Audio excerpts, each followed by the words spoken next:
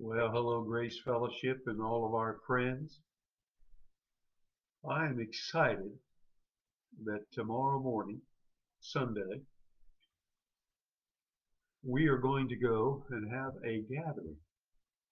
We're going to have our worship service on the front lawn of the grounds of the Great Grace Fellowship Church grounds. But we know that a lot of our church family and friends will not be able to attend, uh, still because of health issues and the um, and, and simple inability to get there. But so I wanted to preview the message that I'm going to give tomorrow morning here on uh, our online service, so that you know, those can hear it either tomorrow or later on this evening. Now, this will be the first gathering since this COVID 19 coronavirus uh, pandemic, but better called a lockdown, happened uh, since March of March 15th. And, and one of the things that concerns me and burdens me, first of all, as a Christian, and second of all, as a citizen of the United States of America, is the response and the authority that the government has taken upon themselves to dictate to the American people uh, how they are to take care of themselves health-wise. And, and, and I've shared and, and, and given you uh, other views and um, from a citizen's point of view, my concerns of how local governments and state governments have been responding. Uh, I'm thankful for our president and what he has tried to do, and I am anxious for this lockdown and this quarantine, which goes against all precedent of, of health. When someone gets sick with uh, uh, a disease, you quarantine that person. You don't quarantine the whole population. Um, there is no way that you'll be able to protect yourself um, from disease uh, by simply locking yourself up in your home.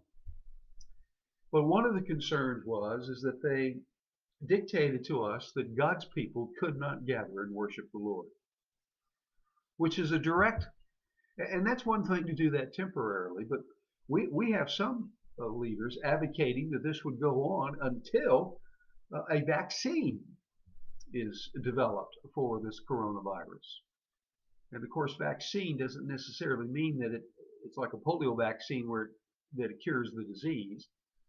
Um, and we have no vaccine that cures a flu. The, the, general flu vaccine that you get is not a cure for the flu. Supposedly it helps you not to get it, but some people do get it after they take the vaccine. But never mind that. The, my point here is is that God's people are mandated in Hebrews chapter 10, where it says, now, and, and we're, we're talking about the last days. And you have heard my perspective that much of how the government is responding and um, how there has been overwhelming submission to the dictates and authority of a government, whether or not they're corrupt or whether or not they think that we're they're fair or whether or not we think that they're being um, sensible. Overwhelmingly, there has been uh, total submission to what they have had to say.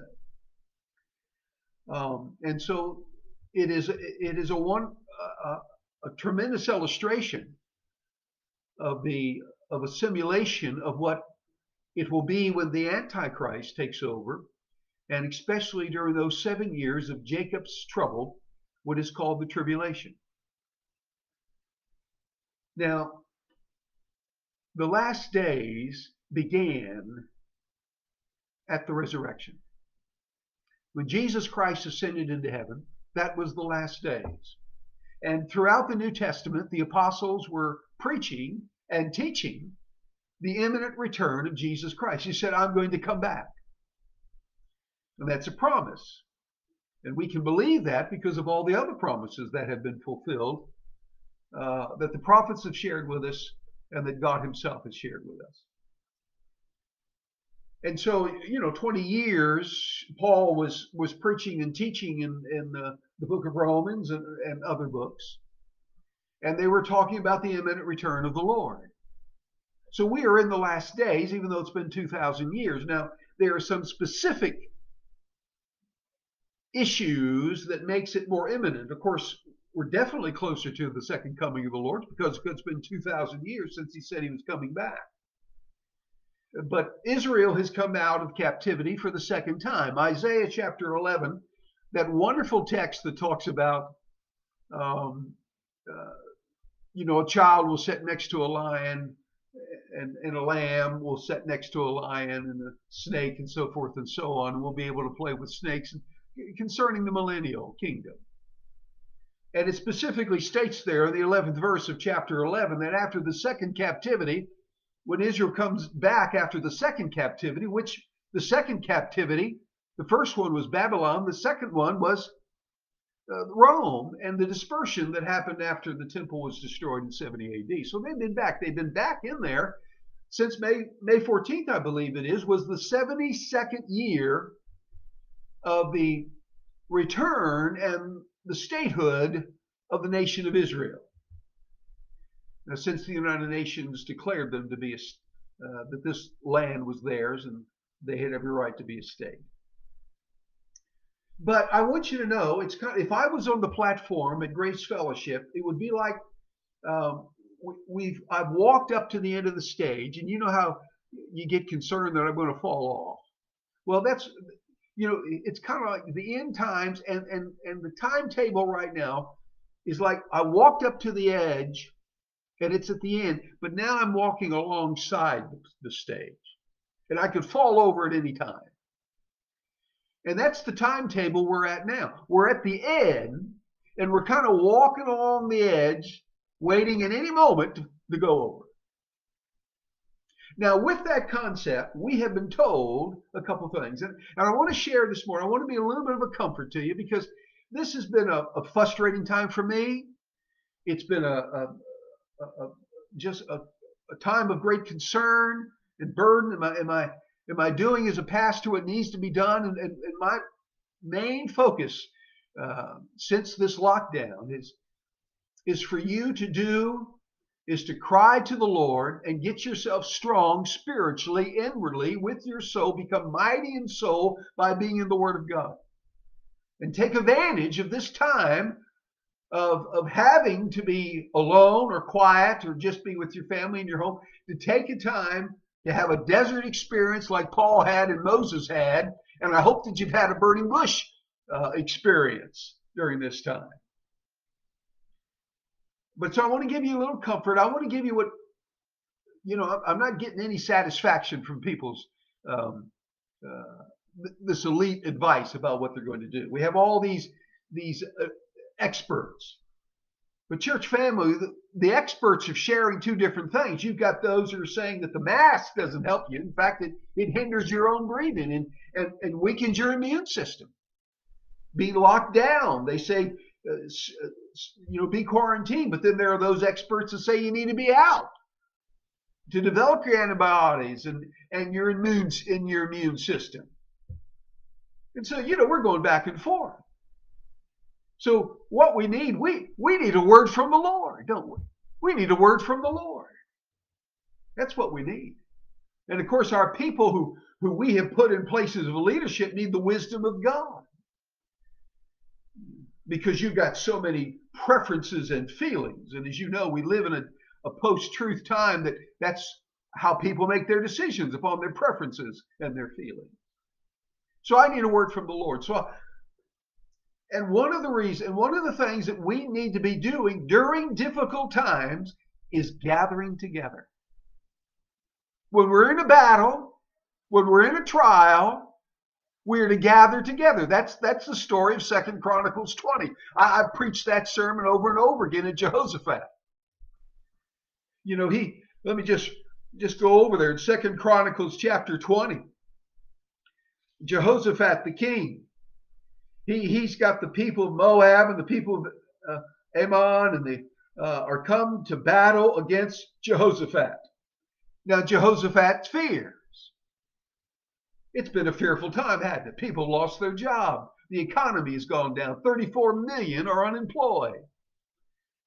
They're printing money like it's monopoly money. And they're putting a debt over us that we're, we're just a house of cards ready to fall apart at any time. There's great fear. Well, Jehoshaphat had great fear. He had a great multitude coming against him from beyond the sea. And so he set himself to seek the Lord. That's what you do. We need a word from God, don't we? So he set and proclaimed a fast throughout all Judah. We're going to get together. We're going to get serious with the Lord. And so Judah gathered together to ask help from the Lord. Now, do you realize that there has been most of the time, when you look at the history of America, when we're going through a pandemic, when we're going through war, it was a constant thing from the President of the United States would call God's would call America to prayer. And even fasting and prayer through every war. Now, but you don't hear that too often today. And so Judah gathered to seek the Lord. And Jehoshaphat stood in the congregation of Judah. I'm reading from Second Chronicles 20. In the house of the Lord before the new court. And he gives a wonderful prayer. He reminds the Lord. He, he speaks God's word back to him. That's what you do in prayer. That's why you need to be in the word of God. Are you not our God? Verse 7 who drove out the inhabitants of this land before your people Israel and gave it to the descendants of Abraham, and you said that we, you will be our friend forever. And so he calls upon the Lord. He says, if disaster comes, we can call upon you. And so God speaks to him, and he says to him in verse 15, listen to this. And he said, Listen, all of you of Judah, and all you inhabitants of Jerusalem, and all you, and you, King Jehoshaphat, thus says the Lord to you Do not be afraid, nor dismayed because of the great multitude that's coming against you. For the battle is not yours, but God's. You will not need to fight in this battle. Position yourselves, take your position, stand still, and see the salvation of the Lord. Who is with you? O Judah and Jerusalem, do not fear or be dismayed. Tomorrow, go against them, for the Lord is with you. Now I want you to notice once again, how did he how did he tell them, how do I want you to go go against him? I want you to strategize about how you're going to move your tanks. You're going to strategize how many bombs, how many airplanes you're going to fly out. No, this is what he says to them. And when he had consulted with the people, King Jehoshaphat, he appointed those who would sing to the Lord and who would praise the beauty of holiness as they went out before the army and were saying, Praise the Lord, for his mercy endures forever. Now, when they began to sing and to praise the Lord, the Lord set ambushes against the people of Ammon and Moab and Mount Seir who had come against Judah and they were defeated. In this battle against a totalitarian authority that is coming more and more in the in America. I want you to see what you do. First of all, you worship the Lord. That's your service. You go to the Lord in worship and praise. Second, I want you to, you need to be somber about these times and get yourself ready for the Lord's coming because he's going to deliver you. He says your salvation is nearer than before. And that salvation, remember, the term salvation, like the term chosen, is not used in the same definition. Salvation from the wrath to come is coming soon. And then third, I want you to find where you find and get your satisfaction of what to do and how to think. Service, somberness, and satisfaction. Now, service, this is what we're to do. What, what are we to do in these last days, Lord? I, I need you to talk to me. Well, this is what he says. He speaks in Hebrews chapter 10. And let us get, now hold fast the confession of our hope without wavering. For he who promised is faithful. He's coming. He's going to deliver you from this mess. And let us consider one another in order to stir up love and good works. We need to consider each other. We need to get together. We need to pray for each other. We need to exhort each other. How do you do that? Not forsaking the assembly of ourselves together, as is the manner of some, but exhorting one another, and so much the more as you see the day approaching. There it is. We're supposed to be gathering. We're supposed to be worshiping together. The Lord's told us to do that, especially in the last days. We're going to need that. Because you see, that shows our trust and faithfulness in the Lord. You see, when, when you win the Super Bowl, what do you do? You have a celebration. You go, when you drive down Main Street in your city and the people just holler and cheer. Well, we come together regularly to say to the Lord, He's going to do all that He's going to do. And we trust Him and we believe in Him. And so we're excited about that. Folks, do you realize? Do you realize that we are closer to going into the presence of our Lord today than we were ever before? Just because of time, that's a fact, of course. Now, we as Christians should have some excitement about that. I realize that there are many that don't. And so that should awaken you. That should, maybe you need to get your house in order. Maybe your priorities is wrong. As it's, you know, Matthew, Jesus says, as it was in the days of Noah. People were just getting married and just going about their business. We just living in the details of our life, just working our job, being married, having children, getting our retirement. No focus upon the most important thing in our life our walk with the Lord and our witness with the Lord and our salvation and our sanctification process. So here, Jehoshaphat and Hebrews is telling us do not forsake the assembly when you got a battle coming at you, and we're going to have battles. We're going to be battling the things of the world from birth until we take our sword and put it in the sheath at death. But when the battle is attacking, turn off the video, turn off the news, and turn your attention to God. Worship, praise, ask for help, pray, be together and pray together. It's important. Every major revival, and even at Pentecost, what was happening? God's people were gathered together praying for one another, seeking God together corporately. And God rained down with the Holy Spirit at Pentecost. God raised down and wiped out the Ammonites and the Moabites and Mount Seir with Jehoshaphat as they praised the Lord got their singers singing, the instruments playing, praising the Lord, reviewing all that God has done. He said, Stand still. Do not fear, but trust in me. You believe me? You, you, you, believe that I, you know, the Lord saying you believe you, what I'm going to do? He says, Well, then I want you to show it.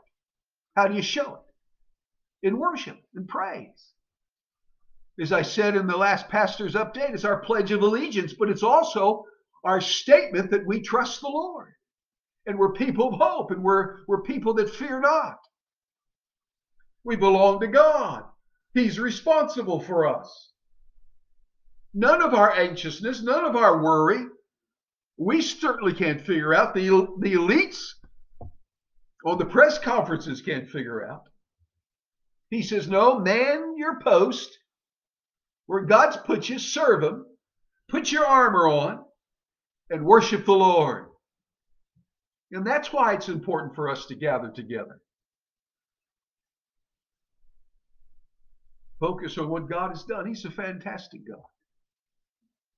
You know, when they're ready, when Israel looked at uh, Pharaoh's army coming down upon them to, to recapture them, and they had the Red Sea uh, in front of them, they had the mountains on both sides of them, and they had Pharaoh's armies coming back. And God told Moses, Stand still and see what God will do. And he did it. He opened that, that sea. And, and it's amazing how, when you think about that, when you think about that, you know, how, how wide did he have to open that Red Sea to get millions of the Israelites across it in, in, in one night? Some people have said they had to be 5,000 abreast to get those millions of Israelites eh, through the Red Sea. And then when you think about going through the wilderness for 40 years, for all the people that we believe there was, millions of them, a quartermaster from the army predicted that or set up that you needed 1,500 tons of food each day. 1,500 tons of food each day. Two, that would be two freight trains, um, each one of them a mile long for a day of food. You need four firewood, 4,000 tons of firewood, and that would take a few more freight trains a mile long. Yet water just for drinking and washing, you would need 11 million gallons. That would be a train of 1,800 miles long. And God did that. You think God can take care of you? Do you really believe it? Do you believe you serve a fantastic God? Do you believe that God knows what's going on? Do you believe that you're in the palm of God's hands? Do you believe? Well, then praise the Lord and worship Him. Show Him that you do. So, when the thunder beats of the enemy, what do you do? You gather together and worship the Lord. Worship the Lord. How do you defeat Satan? You gather together and worship the Lord. You point to singers. What did Paul and Silas do when they were in jail? Paul turned to Silas. Silas, you know what I feel like doing? Silas said, What do you feel like doing, Paul? I feel like singing. In prison, ready to have his head cut off, felt like singing. That's what we're to do. We're people of hope. We have a destiny that's sure. We have a past that's forgiven. We have a present where we're standing in the palms of God's hands. I love the story of the little daughter who whose father was the sea captain and he took her on a on a tour uh, on his cruise ship. It was a sailboat ship, big ship, and a storm came on. And some of the sailors came down and woke her up and said, We're in the midst of a terrible storm. We don't know we're, if we're going to make it. And she, she stirred up and she asked one question. She said, Is my father at the wheel? He said, Yes, he is. Well, then everything's okay. And she went back to bed. I know the storms are up and they're falling, but I want to ask you one question. Is our Father at the wheel? Yes, he is. Well, then worship the Lord and praise him. Okay, so that's your service to God. And remember, we call it's not a worship service, it's a service of worship. That's why we gather together. We're going to do it. Again, get back doing it again. I want you to pray. Churches in California are bonding together, and they're going to gather and worship in their church on May 31st, irregardless of the restrictions of their state governor. I want you to pray for them. And obedience to God is far greater than man's laws that has no sensibility to it whatsoever. Now, secondly, we are to be somber about these times. Absolutely. In Romans 13, we're going to be getting together on that. But remember, Romans 13 um, states in verse 11, let me read this. And do this, Romans 13, verse 11, and do this knowing the time knowing the time that now was a high time to awake out of your sleep. For now our salvation, that's our deliverance from this world, is nearer than when we first believed. The night is far spent, the day is at hand. Therefore, let us cast off the works of darkness and let us put on the armor of light. And let us walk properly as in the day, not in the way man deals with difficulties, but put on the Lord Jesus Christ and make no provision for the flesh to fulfill its lusts. One of the legends of jokes and stories at Bible college and seminaries is how many professors dealt with a sleepy student. I had never experienced, but I was always told that when I was a freshman at Philadelphia College of Bible that one of our professors was noticing that one of his students was nodding off. And so he very secretly had all the rest of the students to stand up and go outside the room. And he fetched a trumpet and blew the trumpet. That old student woke up in a frizzy. He looked around. Nobody was there. And he said, Oh no, the rapture has happened. And I didn't go. Now, I've been told that story. I didn't experience it, but I can see that. That would be funny indeed. But you know, in my day, and of course, in my circles, we believe that the rapture is First Thessalonians, Second Thessalonians tells us, and that we are being saved from the wrath to come. That doesn't mean we're not going to have difficulties and we're not going to experience the evilness of our time, and that we're not going to be persecuted. And the Christians in Asia and, and other parts of the world, we have been very fortunate. It has been very unusual that we in this country for over 250 years have not suffered the persecution that the rest of the world has. But I believe a part of that is because the foundation of this country was based on Judeo Christian values. But basically, we all understood, and, and, and, part of the preaching of the second coming of the Lord and the rapture was, is that it, it kept us holy, and, and we were we were somber about the times, and we were very concerned about our life and our walk with the Lord because we didn't want to be doing something that was offensive to God and offensive uh, to His principles and, and and not doing what He's called us to do if He were to rapture us at that moment. And that's why First John says that it is good to be thinking about the coming of the Lord because it keeps you holy. And so we are to be somber about these times. Uh, and, we're to be alert.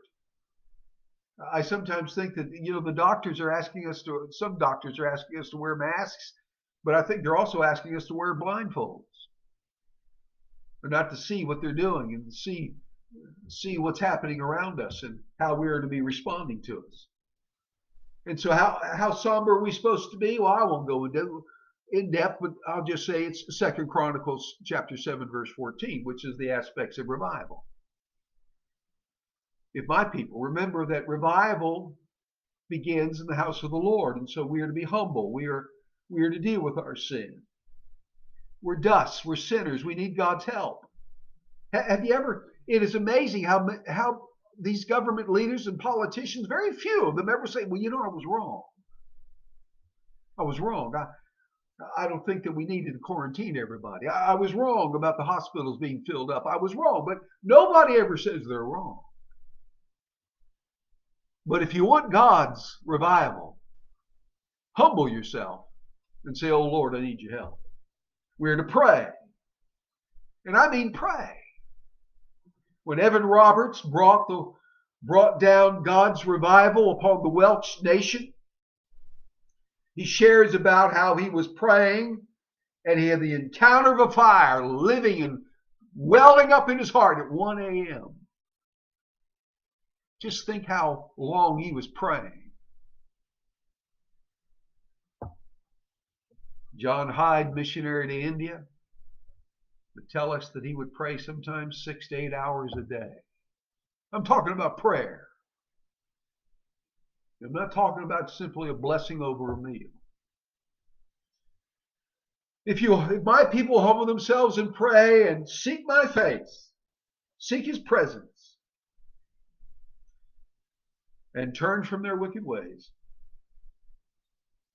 Sow for yourselves, Hosea says, righteousness, reap in mercy, break up the fallow ground, for it is time to seek the Lord till he comes and rains righteousness upon you. And you and I know, as God's people, that our grounds been fallow. It's not been producing much fruit. It's hardened. How many of us come to the gathering, the assembly of God, hear the preacher, and there's no conviction. There's, you know, we just ho hum and walk out. I want you to tell you something. That's more of an indictment on you than it is the preacher. If I'm open to the Lord and I come in with humility, seeking God's face in prayer, seeking to turn from my wicked ways, the boringest preacher in the world ought to be able to convict you of something. They want to say something to you that there's no conviction, no, no sense of anything going on in your soul after hearing God's word and gathering with God's people. Create in me a clean heart, David said. And that's what we are to be doing. And that's part of the gathering aspect, is to come and search my heart. Therefore, Hebrews 10 verses down further in 35 and 36, therefore do not throw away your confidence, which has great reward. For you have need of endurance, so that when you have done the will of God, you may receive what was promised. So be somber, be awakened. Make sure that you put on Christ. Make sure you've got your armor on. You put the belt of truth on your life. And um, you, you know, and the and uh, the breastplate and and so forth and so on. These are things that we need to be doing. Uh, well, and I'm talking about the armor of God. Let me see. Um, you know, the the breastplate. That's confession of sin. Your feet shod. Are you a good representative of the gospel? Your shield. Are you believing God's going to meet your needs? Your helmet. You have no doubt. You have the mind of Christ. You have His worldview. The sword. The Bible is your guide. And then, of course, the belt, as I first said, uh, that's the, uh, the belt of truth. And we, we look to the truth. We obey the truth in every aspect. We master our emotions. We talk to ourselves. That's what First Peter says in chapter 1. Take up the loins of your mind. Take control of what you're thinking. Is that what you're supposed to be thinking? Full of fear and worry and dismay? No, do not be dismayed. Praise the Lord and trust in Him. Serve the Lord in worship. Be somber. Awaken yourself. Do evaluations. Get close to the Lord. Fill yourself up. Be mighty in spirit. And then find, I want to tell you where you find your satisfaction. Matthew chapter 11. Very quickly, I want you to listen to this.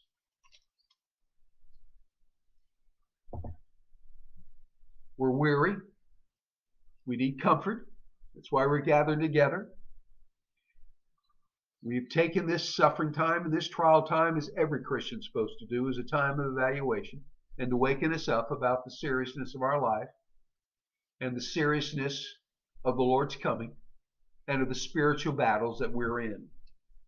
But we do get weary and we do just want to kind of fall down and just kind of give up, so to speak. But I want you to take comfort into what Jesus said. In chapter 11 of the Gospel of Matthew, pretty obvious that Israel is rejecting their, their Messiah. And he's going to be leaving them and coming to the Gentiles to focus on the gospel to them. And he says this Come to me. Come to me, all you who labor and are heavy laden, and I will give you rest. Take my yoke upon you and learn from me. For I am gentle and lowly in heart, and you will find rest for your souls. For my yoke is easy and my burden is light. Are you weary today? Physically and emotionally, mentally, and even spiritually. How do you find rest in your soul? You got the answer right here. You can work your way and try to figure out everything and try to uh, be like the uh, the religious uh, Jewish people who try to work for God, or you can accept this invitation. It's your choice. It's your choice. Now, I, I, he says heavy labor. We don't know what it is. But I want you to know that you find rest not in the circumstances, not in your personal possessions, not in the preacher, not in your government, but in Jesus Christ alone. Jesus Christ alone. He says, I am the way, the truth, and the life. No man comes into the Father but by me. He didn't come to say that I'm going to show you the truth. I'm going to tell you the truth. I'm going to model the truth. No, I, am not one of the ways. I am the way. I am the truth. I am the life. The world says, well, what is the way? Jesus says, I am the way. The world says, how can I be sure? Jesus says, I am the truth. The world says, how can I be satisfied? Jesus says, I am the life. Now, he doesn't address here why you're heavy labor, why you're weary. But heavy labor, all those come unto me, he says, all who labor and are heavy laden. So you're really worn out. Something has really overburdened you. You're overloaded. You feel crushed. You ever felt like that lately?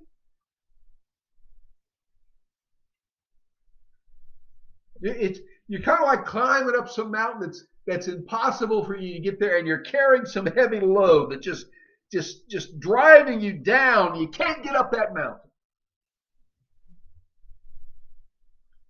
he says come to me. He says come to me. You know i, I my my blessed wife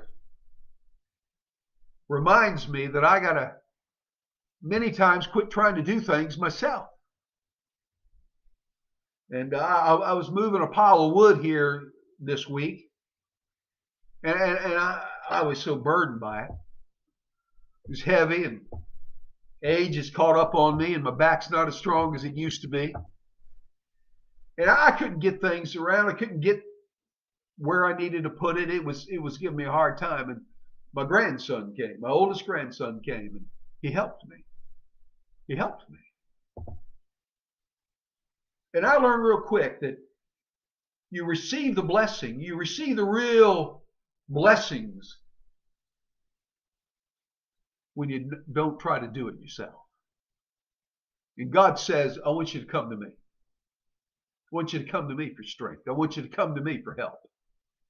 You see, if you walk on Fifth Avenue in New York City, it used to be, I don't know if it's still there, you, there used to be an RCA building there, and it had Atlas with all of his muscles just you know, bulging, and he was holding the world. Now you can try to be an Atlas, or you can walk further down the street on Fifth Avenue in New York City, and you'll come across St. Patrick's Church, and they have a statue of Jesus as a boy, and he's got the world in his hands. He's got the world in his hands. You can strain all you want with your life, or you can trust Jesus, who has the whole world in his hands. So I want you to accept the invitation, but I also want you to see very quickly, time's getting away, accept the responsibility. Take a burden by putting on his yoke. Putting on his yoke. That is the nature of true rest. It's not that you don't have any responsibilities, not that you don't have any burdens, but it is joyful submission to the purpose which you were created by God.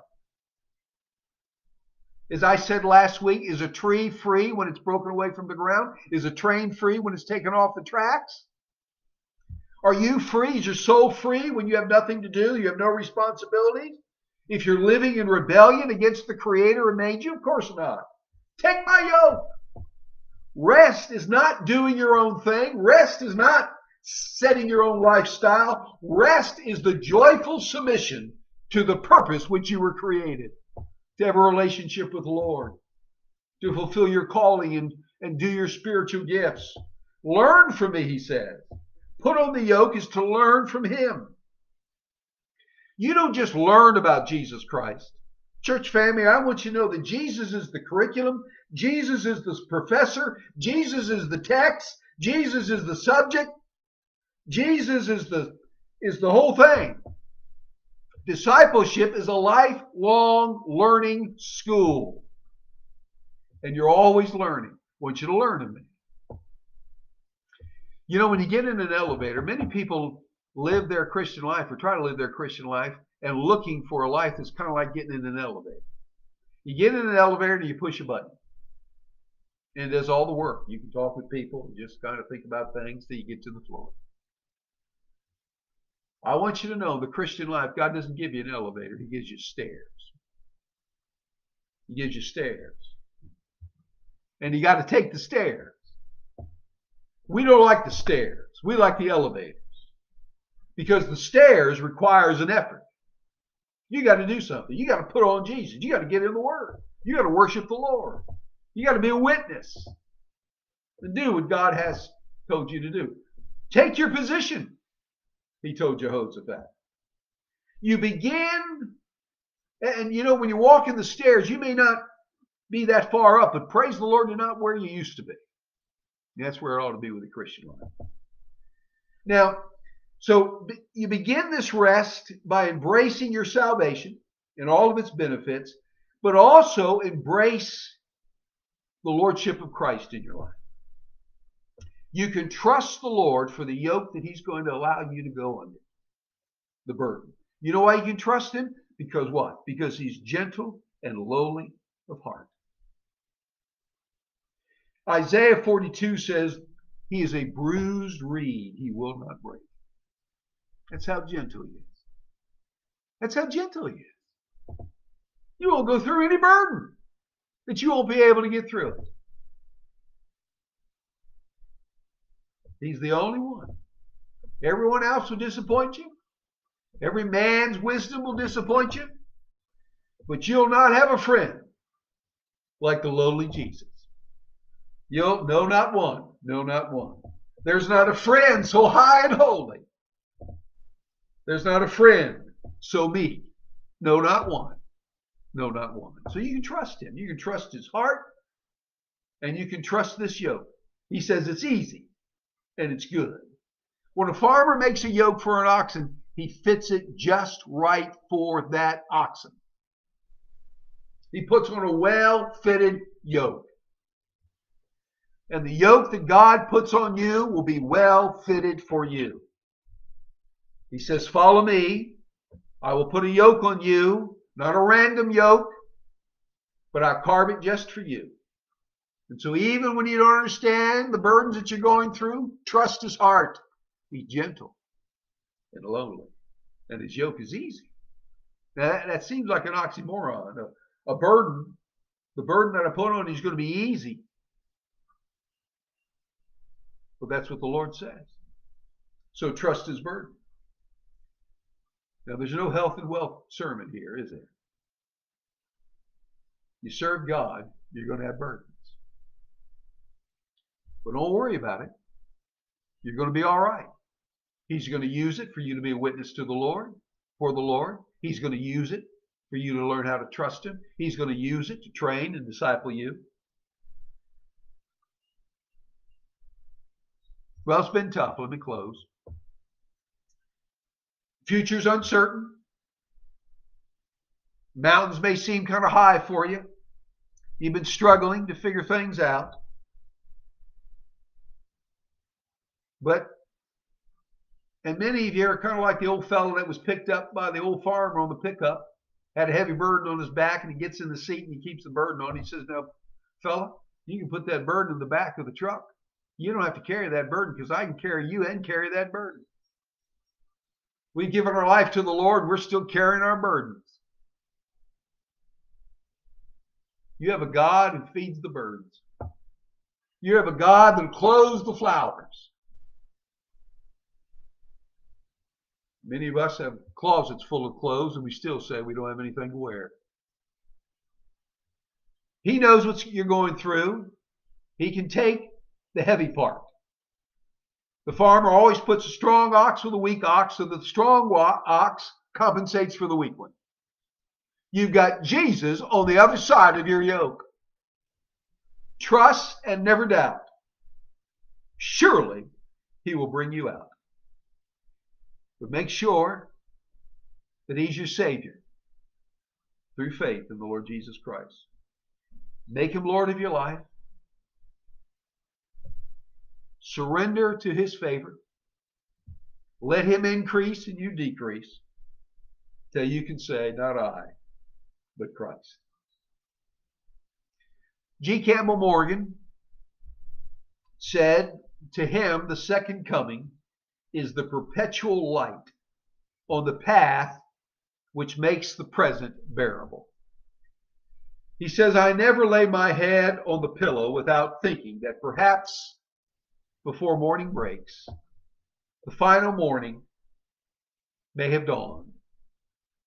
I never begin my work without thinking that he may interrupt my work and begin his own. This is now his word to all believing souls. Till I come, we're not looking for death, we're looking for him. I hope you are. I hope that you're ready. You know Jesus Christ is your Savior, and this time you've gained an intimacy and your faith has been built up and you're mighty in spirit, and you are one hopeful, joy filled Christian. God bless you. See you soon.